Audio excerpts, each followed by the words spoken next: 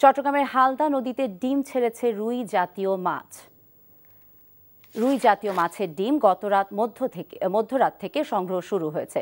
উপমহাদেশে হালদাই একমাত্র নদী, যেখানে দূর দূরান্ত থেকে কার্প জাতীয় মা মাছেরা বছরের নির্দিষ্ট সময় ডিম ছাড়তে এসে যায় এবং স্থানীয়রা সেই ডিম প্রাকৃতিক পদ্ধতিতে সংগ্রহ করে থাকেন। যে কারণে সরকার অতি সম্প্রতি নদীটিকে বঙ্গবন্ধু মৎস্য হেরিটেজ বলে ঘোষণা করেছে। প্রতি বছর এপ্রিল, মে মাসে দূর দূরান্তের অন্যান্য নদী থেকে রুই, কাতল মৃগেল এবং কালী বাউসের মা মাছেরা দীর্ঘ পথ পাড়ি দিয়ে এই নদীতে চলে আসে। পরে বজ্র বৃষ্টি সহ নদীতে স্রোত সৃষ্টি হলে মাছেরা ডিম ছেড়ে দেয়।